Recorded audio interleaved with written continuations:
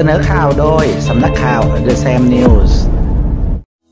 จะเรียกว่าจิ๋วตาแจ๋วก็ว่าได้นะคะสำหรับหุ่นยนต์ My Buddy หุ่นยนต์น้องใหม่จากแดนมังกรสุดแสนจะน่ารัก ที่สามารถทำงานได้อย่างหลากหลาย โดยเปิดตัวมาเป็นหุ่นยนต์ประเภทโคบอทหรือหุ่นยนต์ที่ถูกออกแบบขึ้นเพื่อทำหน้าที่ร่วมกับมนุษย์ โดย My Buddy มีความโดดเด่นที่การออกแบบแขนกลช่วยจับ 2 แขน ซึ่งแต่ละข้างมีวงรัศมีการทำงานอยู่ที่ 280มิลลิเมตรรับน้ำหนักได้ข้างละ 250 กรัม มีค่าความอิสระอยู่ที่ 13 ซึ่งหมายความว่ามันสามารถขยับแขนทำงานได้อย่างอิสระ เลียนแบบลักษณะการขยับแบบมนุษย์ได้ อย่างเช่นการโบกธงรูปตัวแมวทำท่ารูปหัวใจเป็นต้น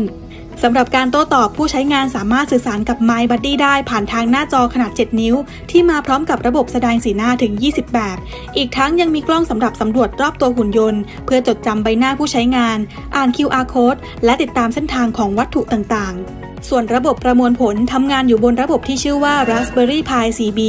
มีหน่วยประมวลผลแบบ 64 บิต ความเร็ว 1.5 กิกะเฮิรตซ์ และมีหน่วยความจำ 2 กิกะไบต์สำหรับการประมวลผลระบบปัญญาประดิษฐ์ นอกจากนี้ผู้ใช้งานยังสามารถเข้าไปปรับแต่งการทำงานผ่านการเขียนโปรแกรมด้วย Python เชื่อมต่อด้วยพอร์ต USB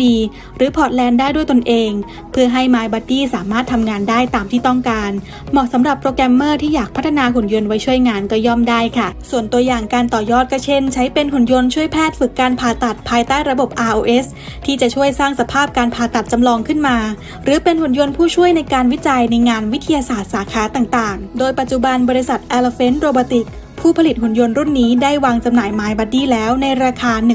1,699 ดอลลาร์สหรัฐ หรือราวๆ 6,900 บาท ก็อาจจะเป็นตัวเลือกที่น่าสนใจสำหรับใครที่อยากลองมีหุ่นยนต์ช่วยงานสักตัวค่ะ